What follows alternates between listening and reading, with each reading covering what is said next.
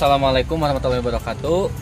Nah teman-teman kali ini saya akan sharing uh, dan berbagi sedikit mengenai teknik dasar dalam memanah menggunakan busur football atau busur tradisional. Nah uh, tentu akan ada perbedaan uh, di mana busur ini memiliki ukuran dimensi yang jauh lebih kecil daripada busur-busur modern yang biasa teman-teman lihat ada di olimpiade atau ada di televisi-televisi. Nah untuk kali ini kita coba persiapkan peralatannya dulu. Nah ini untuk busurnya sudah ada. Ini busur model Turkish Ottoman Ini busur housebow Jadi memang ukurannya sangat pendek ya Ya kenapa tujuannya sangat pendek Seperti namanya sendiri busur housebow Memang e, peruntukan utamanya ialah nanti ke depannya untuk berkuda jadi ketika dipakai di atas kuda, busur ini tidak akan e, menyulitkan penggunanya karena ukurannya sangat ringan ukurannya yang sangat kecil, ringkas, dan bobotnya juga sangat ringan. Ini di bawah 400 gram. Nah, busur ini sendiri merupakan busur produksi saya sendiri. Jadi bagi teman-teman yang nanti tertarik untuk membeli busur bisa langsung ke Instagram @givari.archery. Nah, lalu berikutnya ini ada alat pelindung. Sebenarnya nggak wajib ya. Ada juga yang nggak pakai, tapi demi safety aja.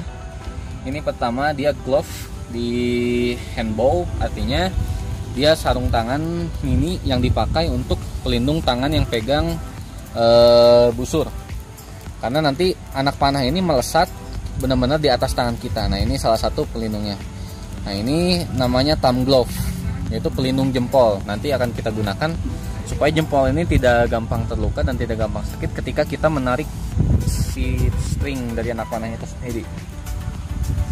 Kita pakai seperti ini. Nah untuk cara pakainya nanti uh, ada di video selanjutnya. Kita pakai. Untuk bentuknya sendiri beda-beda ya. Bahkan ada yang disebutnya itu tamring dia bentuknya seperti cincin bahannya ada dari tanduk dari kuningan dari perak. Nah, kalau ini dari kulit sapi asli. Lalu berikutnya ada quiver. Nah ini merupakan salah satu uh, perangkat wajib ya. Jadi ada beberapa memang ada yang nggak pakai quiver tapi menurut saya ini termasuk perangkat yang wajib untuk menunjang latihan teman-teman. Karena nanti alat ini si quiver ini atau wadah anak panah akan membuat kita uh, lebih nyaman ketika berlatih dan tidak kerepotan untuk menyimpan anak panah. Ini sebutannya quiver. Lalu ini ada beberapa anak panah. Saya menggunakan anak panah natural. Ini ada dari kayu spruce atau kayu pinus. Ada juga dari tonkin satu. Nah ini agak acak-acakan ya. Ini memang anak panah sisa. Saya belum uh, bikin lagi anak panahnya nah ini anak panah kita gunakan anak panah natural tapi ada juga yang memang menggunakan anak panah uh, karbon semua sudah siap pivot sudah dipakai anak panah sudah ada busur sudah terpasang uh, safety set juga safety glove sudah kita pakai ya kita akan mulai uh, memanah Nah kita langsung ke area panahannya.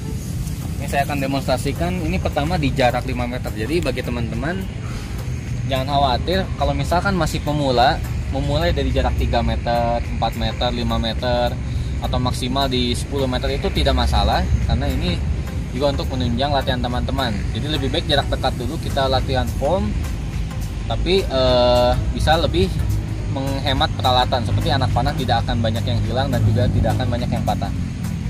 Nah pertama yang perlu diperhatikan dari ini adalah posisi berdiri. Ini posisi berdiri ini ada beberapa, tapi saya akan coba pakai cara yang paling umum. Yaitu misalkan ada target di depan kita, kita tidak menghadap ke target.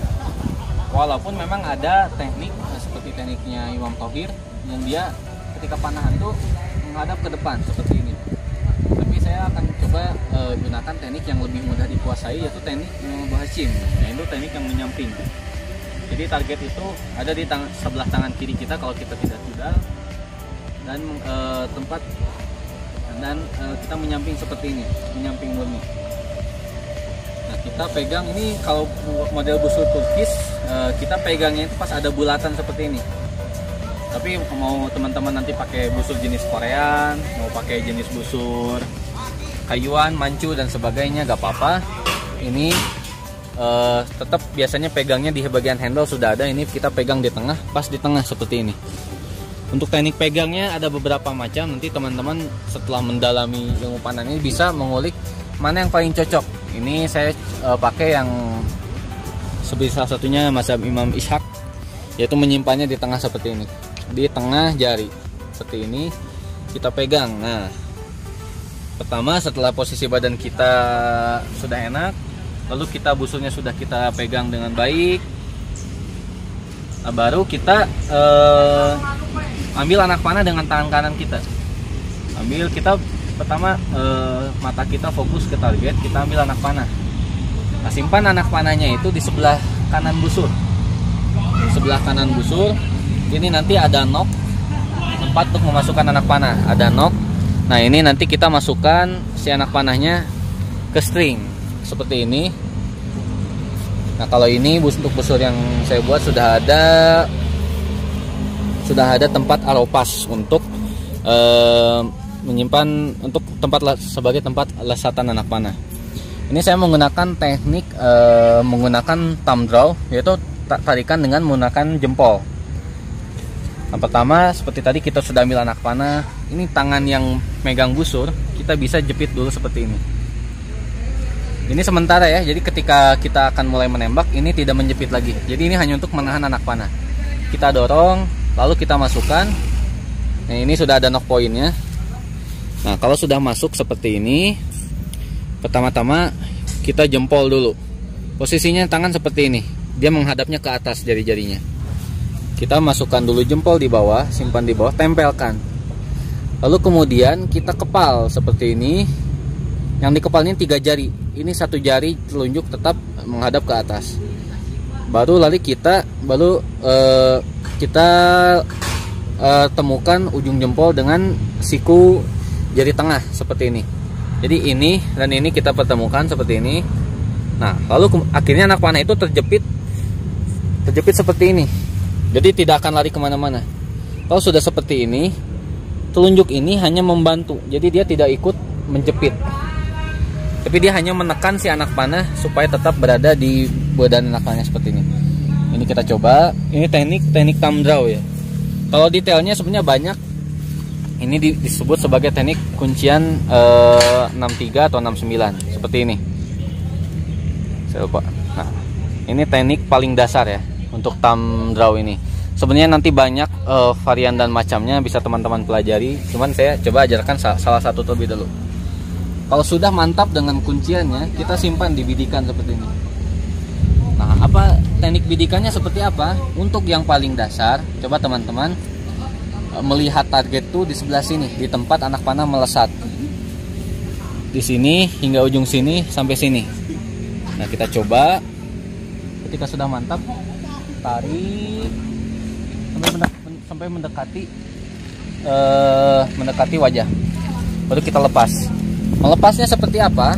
Jadi ketika kita sudah mencapai ditarikan maksimal kita tarik dan kita lepasnya ini telunjuk dan jempol kita buka dan ini masih tetap mengepal. Ini teknik uh, pelepasan yang paling simple paling enak lah. Lalu ketika setelah kita jepit dan tarik sampai batas maksimal kita lepas. Ini di dibuka aja telunjuk sama jempolnya. Seperti ini. Kita coba lagi. Coba lagi. Paskan dengan target berikan tarik nah seperti itu jadi posisi menarik Nah, pertama ada beberapa hal, mungkin nanti string ini akan menjepret tangan teman-teman. Tapi ini bukan bekas busur ya, ini e, karena terkena gerina tangan, beda lagi. Jadi gimana caranya kita jaga supaya tangan nggak tidak benar-benar lurus. Karena kalau lurus seperti ini, dia pasti bakal kena. Kita coba bikin tangan lebih menekuk seperti ini. Kita tahan seperti ini. Tadi kita masukkan anak panah. Kuncian jempol masuk tiga jari di kepal dipertemukan ini menjepit lalu telunjuk membantu. Nah ini teknik kuncian paling simple kita coba tarik sampai maksimal. Seperti itu. Nah lalu kemudian ada yang namanya katra katra ini ialah ayunan ketika kita rilis. Rilis kita ketika kita melepaskan anak panah. Untuk uh, busur-busur jenis Turki atau busur-busur Arab ini katanya ini dia ke depan. Bisa teman-teman lihat nanti akan ada ayunan. Dan ayunan ini jadi bukan setelah kita rilis langsung mengayun ya tapi benar-benar bareng. Ketika kita rilis ini juga mengayun. Kita coba ini katra ke depan. Nah seperti ini fungsinya apa? Ialah untuk e, mengurangi getaran yang diterima oleh busur ketika rilis dan juga untuk e, menambah lecutan. Bila katanya benar anak panah itu akan melecut lebih e, tinggi. Ada juga mungkin teman-teman pernah melihat katra korean. Katra korean itu seperti ini. Jadi bukan ayunannya ke depan tapi menyamping. Kita tarik nah kalau ini sebenarnya lebih ke selera ya tapi kalau bus busurnya busur turkis tentu akan lebih enak eh, kata menggunakan kata turkis juga. Kita coba lagi. Pertama kita review lagi ya mulai dari pertama. Yang pertama ada posisi berdiri kita menyamping dulu aja. Nanti di akhir video akan saya tunjukkan beberapa teknik menggunakan e, cara berdiri yang pose berdiri yang berbeda-beda. Menyamping terus kita pegang busur tepat di tengah seperti ini kita ambil anak panah dijepit terlebih, terlebih dahulu. Kita jepit dorong. Masukkan ini sebutannya knock knock point. Kita masukkan ke string. Masukannya harus benar-benar masuk ya. Khawatirnya nanti terlepas. Kita coba tarik. Nah ketika akan menarik si jari ini dia tidak posisinya seperti ini lagi. Tapi kita turunkan ke bawah. Nah ini dilipat ke dalam seperti ini. Jadi ini posisi akhirnya. Kita coba tarik nah seperti itu. Terus timing rilisnya pas kapan sih? Ini ada beberapa ya. Kalau saya termasuk tipe yang ketika menarik ini tidak menahannya terlalu lama. Ini teknik muftalas. Tapi ada juga teknik yang ketika dia ditarik dia ditahan dulu baru dirilis. Seperti ini dia mematenkan dulu bidikan baru dirilis. Seperti itu ada juga yang ketika dia tarik itu dia langsung dilepas. Jadi tidak lama. Seperti ini. Seperti itu. Dia langsung cepat. Ada juga yang dia ditahan dulu sebentar teknik muftalas lalu kemudian ditarik ke belakang baru dilepas. Jadi tarik dulu belum sampai full ini. Ini belum sampai full. Baru ketika akan full dia tarik dulu. Nah tarik dulu ke belakang baru dilepas. Seperti itu.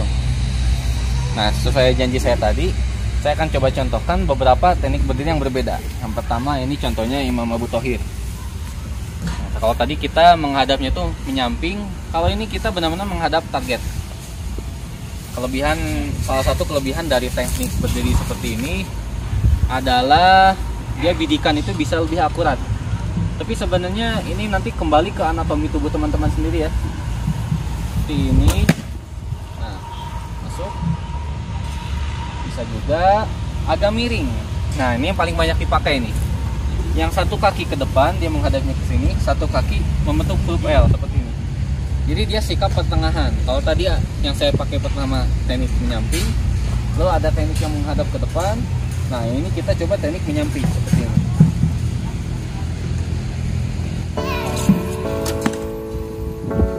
Nah seperti itu. Sekarang kita akan coba dari jarak yang lebih jauh